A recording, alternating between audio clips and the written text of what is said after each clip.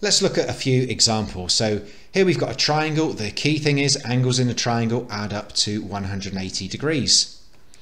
So the angles we have so far are 45 and 75. If we add them together, that is 120. And 180 minus 120 is 60. So A equals 60 degrees.